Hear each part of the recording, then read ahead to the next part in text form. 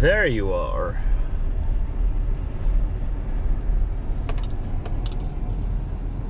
Let's get her loaded up and let's go play with some poles today, eh? I gotta deliver those guys into Winnipeg and then I have two loads of new poles to deliver. Let's get going.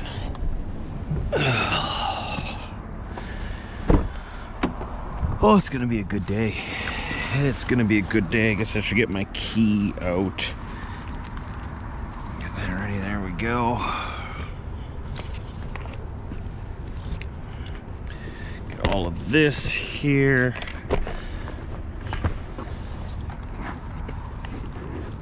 That. That. I'll come back for all that stuff. Good morning, you beautiful beast. You and I are going trucking together today. That's in there, that in there.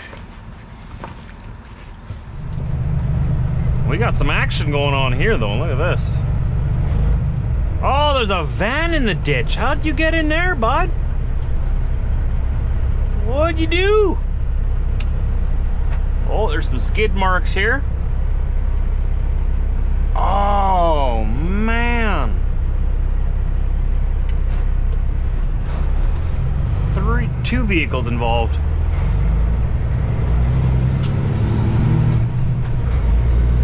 Yikes. Oh, that's a bad, bad Friday. That'll ruin your day. But hey, look at it. uh, Look at it on the bright side. Doesn't look like anybody was killed. I hope that nobody had any in, any injuries or serious injuries. And uh, look on the bright side. Somebody's getting a new vehicle on the road to Portage La Prairie. Look at us go.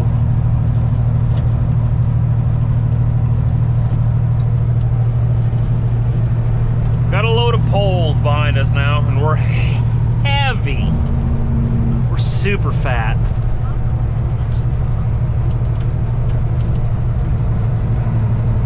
Going down highway number two, because where I picked up these poles just sort of made sense to go around this way.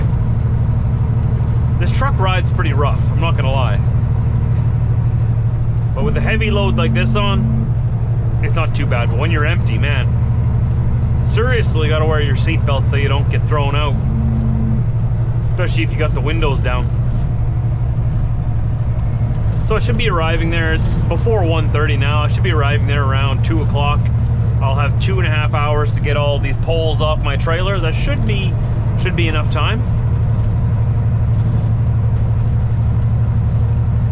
And then it'll be time to go home for the weekend. Next week we'll be back in my regular truck, I'm pretty sure. The guy who's usually in this truck is on holidays this week. That's why I'm uh, filling in for his thing. But they are supposed to be putting me in this truck uh, a couple of times a month or something like that, just so that my I don't lose my skills. Because you know, if you if you learn new skills and you get new skills, uh, you got to use them. If you don't use them, you lose them. So a couple times a month or so we'll be in this. But there's a regular driver that's usually uh, usually in this taking care of all the poles and stuff.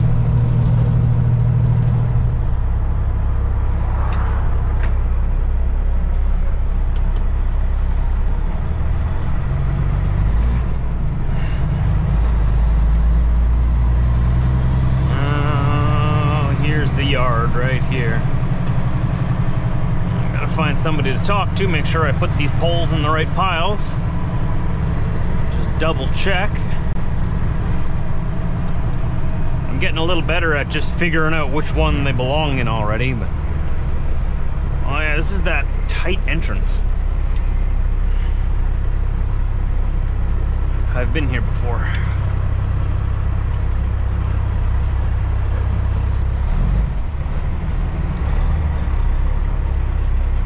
Just barely squeak in here.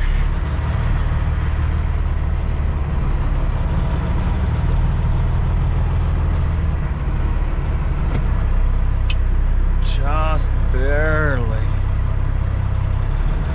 like a glove.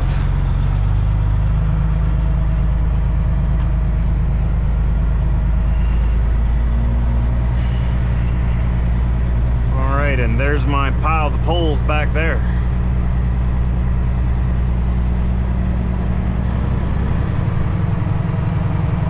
Like that one guy is parked right in where I'm gonna need to be.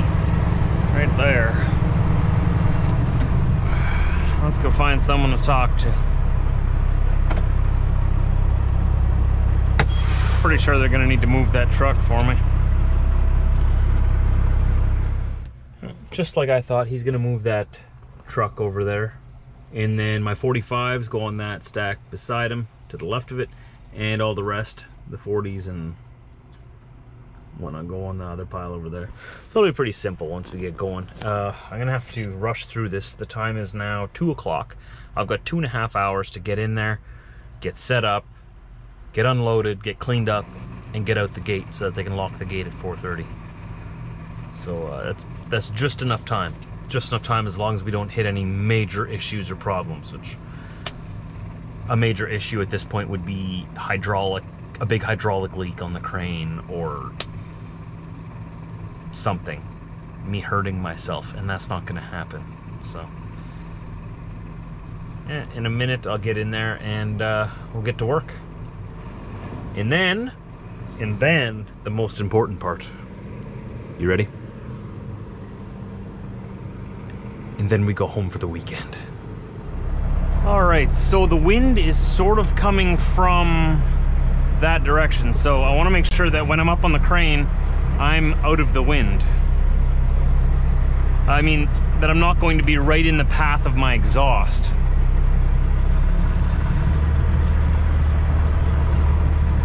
Man, they always make these things so tight and hard to get into. Okay, so my 45s are going right here. My 40s are going right there. All right, that was much easier than that other one the other day. Much easier. Because they didn't have a utility trailer parked in my way here. That helps. Okay. Back her up. Back her up.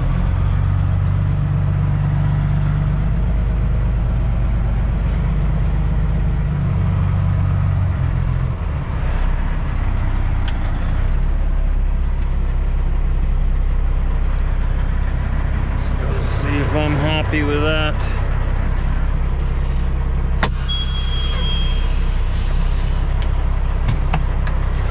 Okay. Oh boy. I'm not picking up scrap today. I already asked. Not picking up scrap. I want to make sure I can reach it with the crane. I can't reach that far all the time. So 35s are going here. Yeah, I'm gonna come back a little bit further so that my crane is about right here. So that I'm not reaching to set them down so far.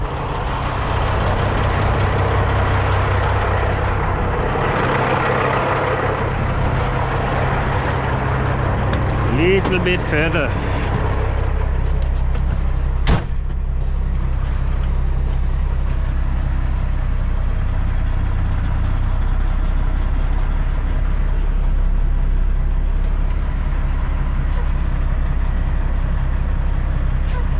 There we go, I think that'll be better. All right. All right. I gotta set them down right here.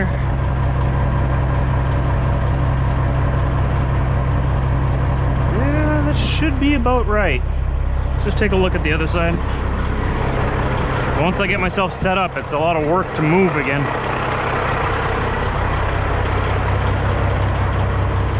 The train comes down and it sets it down right here, yeah. Okay, I'm happy with this. All right, let's set her up.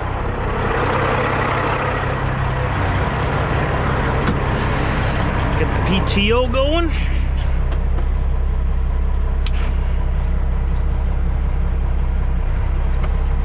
Back on, get the RPMs up. Turn the crane on. grab our gloves. These are the old ones. The new ones, all my organized chaos in here. It's not really as messy as it looks. Uh, I know exactly where everything is.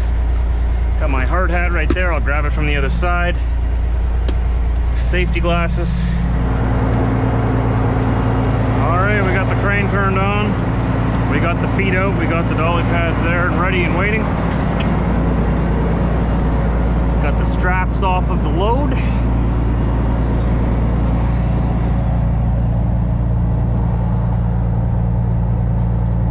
Get our captain's chair ready here. Get this out of the way. Make sure I don't let that bungee fall. Okay. All right, let's get this thing going. First things first, let's put our feet down. That one down there. This foot down. That'll stabilize us. Okay. There we go.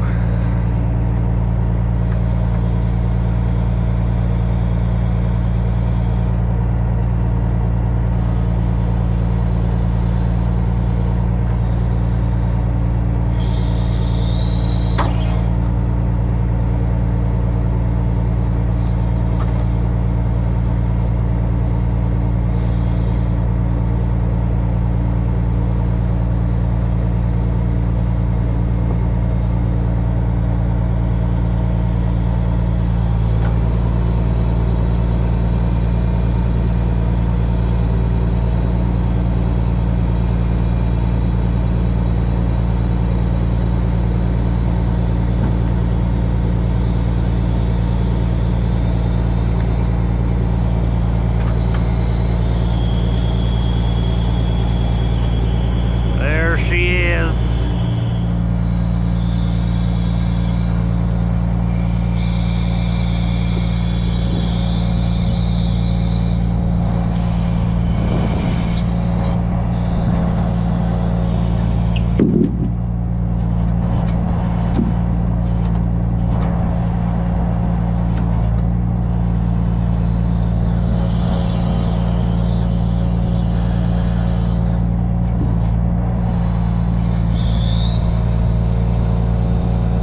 All right, all right. So,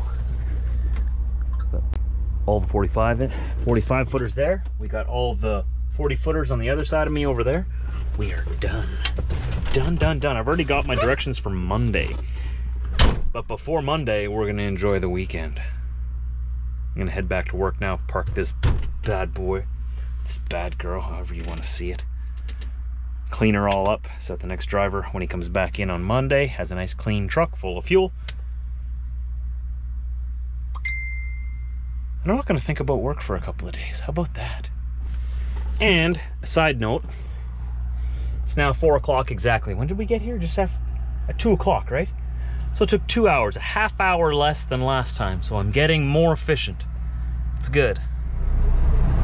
All right, let's uh, get ourselves out of here without pulling down this gate on our way out. That was not designed with a 75 foot unit in mind. But it works. It works. Why change it? If it ain't broke, don't fix it. And it's not broke. Because I didn't break it, so it's not broke. I'll have to wait till someone drags their trailer over the fence. it won't be me, tell you that much.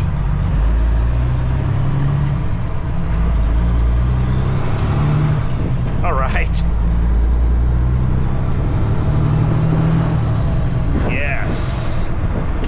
Let's go home. Oh, we'll stop for fuel first. We used a quarter tank of fuel today. Ooh, this thing is a piggy. It's a big pig. It's not just a regular pig, not a run-of-the-mill pig. This is a special pig. It's a big fat pig. Eats a lot.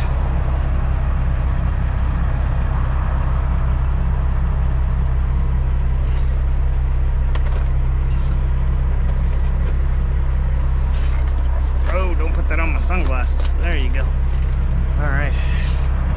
Oh boy, I'm gonna have to get aggressive here. Oh man, and the Cadillac came in. Ah, oh, ah, I should have. Oh, I should have gone. I'm too nice. Way too nice. Maybe if I roll my windows down, people will see me and they'll feel sorry for me. They'll leave me a spot. No.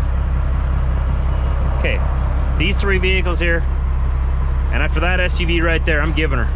I've made up my mind. No more Mr. Nice Guy.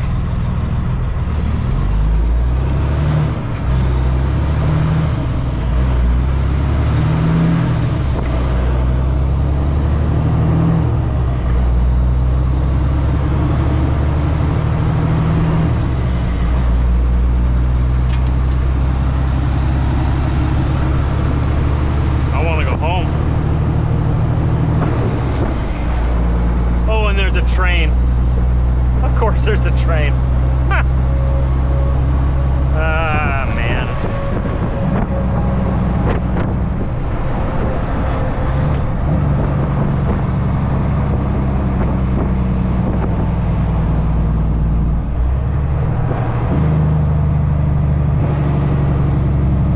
I guess our uh, our rush to get home will just have to wait for the train. I don't know if the fisheye lens is picking it up. There's a train crossing way up there.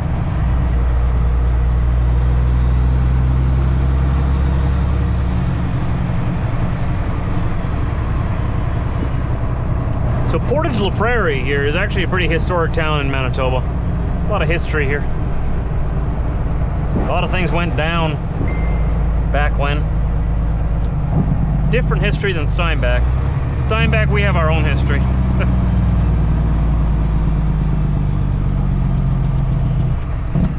because we are different than any other part of the province except for like the Winkler area. We have a uh, Mennonite, German, Dutch, Russian, or I guess Prussian history, Ukrainian.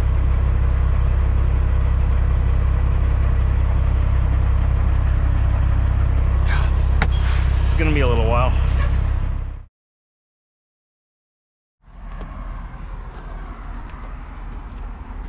Well, it was a fun couple of days.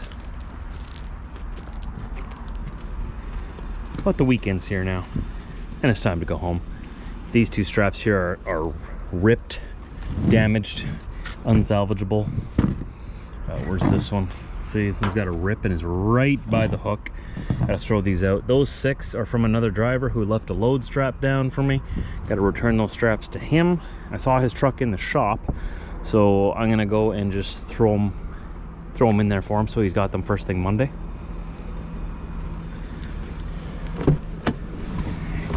And then we will go and enjoy a wonderful, wonderful weekend. All right, guys. You did good. Farewell. Thank you for your service. One more. You may be battered and bruised, but you lived a good life. Thank you for your service. All right, you six are still in good shape. I got to bring you back to your rightful owner.